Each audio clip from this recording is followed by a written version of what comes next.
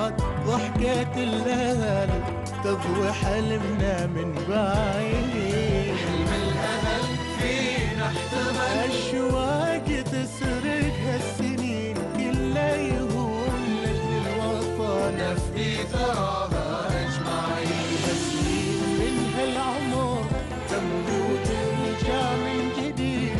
وفي لحظة نلقاها تمر. الحلم ما هو بعيد. كلنا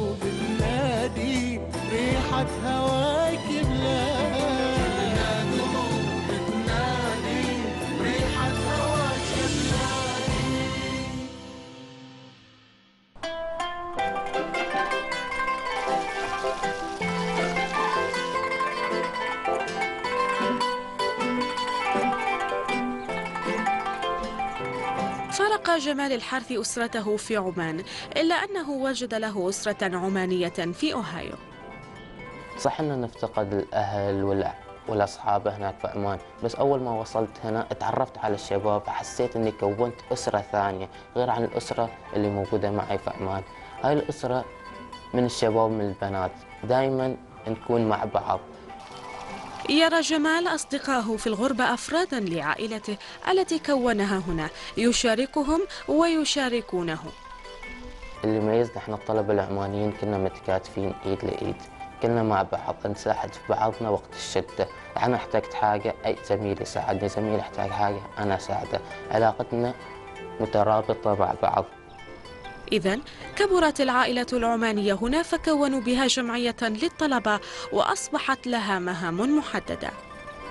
إحنا الطلبة العمانيين كونا جمعية عمانية هنا. في الجمعية نجتمع كل ثلاثة أسابيع. أنا السنة الماضية أنا كنت نائب الرئيس فكنا نجتمع مع بعض ننسق أي فعالية راح نقدمها سواء كان العيد الوطني أو إذا كنا بنعيد هنا إذا كنا خاصة في عيد الأضحى إحنا نكون هنا ما نقدر نرجع لبلدنا. فنبدأ بتجهيزات الأمور كيف راح كيف راح نستعد للعيد إيش راح نسوي إيش نحتاج إيش نفتقد. فكنا نوقف مع بعض كنا نشارك بالأفكار ونشتغل مع بعض ونكون ايد واحدة نحقق هذا الشيء. ونحتفل بالعيد صح إنه بعيد عن الأهل والغربة بس لازلنا نحتفل هنا. وبالرغم من لحمته مع طلبة العمانيين هنا لم ينسى جمال أن يندمج مع أفراد المجتمع الذي يعيش فيه. خلال معرفتي بالامريكان ما واجهت أي نوع من المشاكل. هنا اللي يميز الأمريكان اللي حلو فيهم إنهم يحبوا يتعلموا يعرفوا عن عاداتك وتقاليدك ويسألوك أنت ليش هنا؟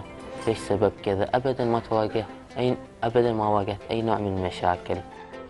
وكان يقوم بأعمال تطوعية خارج ساعات دراسته وهذا هو الدرس الأهم في الغربة. طبعا آه، تغيرت تماما شخصية جمال يعني إلى الأفضل. أصبحت عنده ثقة بنفسه أكبر عنده اطلاع على العالم الخارجي الاحتكاك بثقافات الآخرين.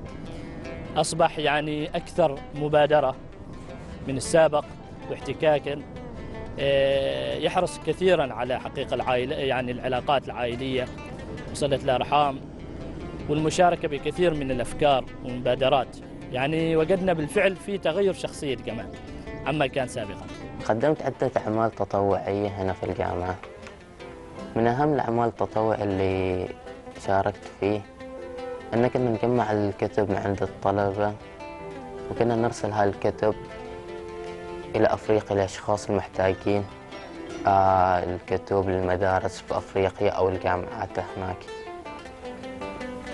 بعد ما خلصنا من هذا المشروع كذا تم تكريمنا. إحنا كل تم تكريمنا أنا والطلبة العمانيين اللي شاركوا معي بهالمشروع. غير عن ذلك حضرت مؤتمر في واشنطن دي سي عشان أتكلم عن المشروع عن العمل التطوعي اللي قدمته وكيف كان بالنسبة لي يعني كطالب غير أمريكي إنه يقوم بهذا العمل يعني بالنسبة لهم هم هاي شيء كبير. فقدمت لهم يعني محاضرة آه لمدة عش- خمس دقائق. تكلمت فيه باختصار كيف أنا ساعدت بهذا العمل إيش اللي أنا استفدت من هاي الشيء وهل وكيف أنا وإني أنا محب لهاي الشيء. كلنا قلوب تنادي ريحة هواي تنتشر في أوهايو مجموعة من المساجد التي تلبي الاحتياجات الدينية والروحية للجالية المسلمة على أراضيها.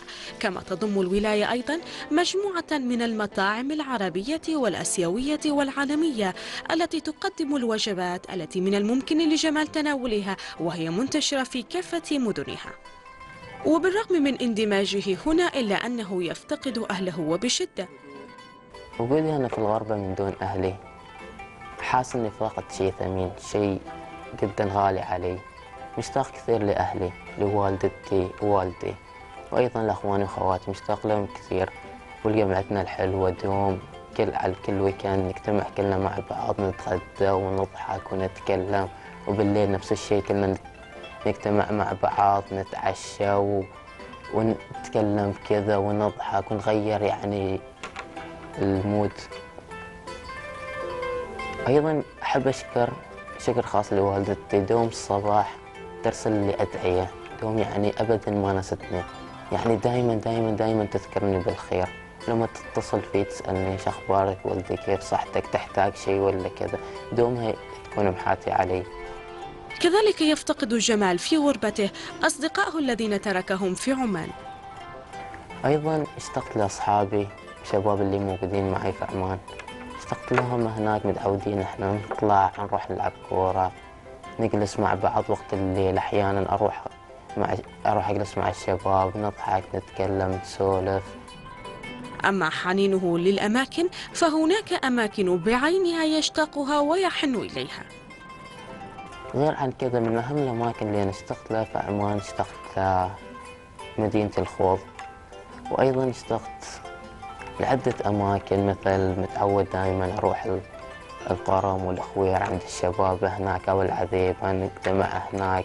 سواء كنا نجتمع على الشاطئ ولا كنا نروح مطعم نتعشى مع بعض أحيانا. اشتقت لكل هاي اللمة الحلوة. افتقدت نوعا ما افتقدتها هنا. بس أيضا في المقابل هنا الشباب اللي هنا أحسهم يعوضوني بكل هالأشياء النواقص اللي أفتقدها. جمال أول ما يوصل لعمان أول مكان يحب يجي فيه هذا الشاطئ. يعني من أحسن الأماكن اللي يتمنى يكون موجود فيها.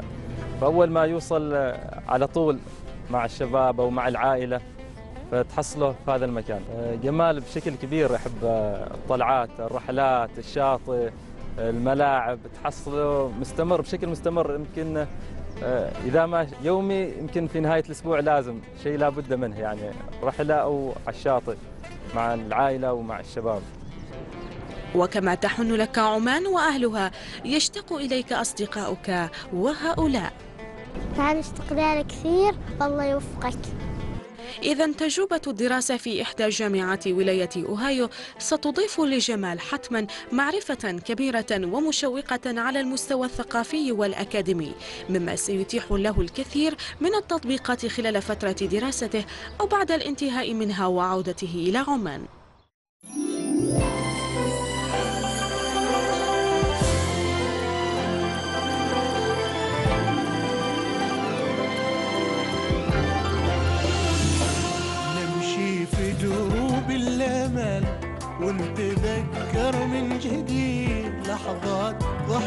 الاهل تضوي حلمنا من بعيد.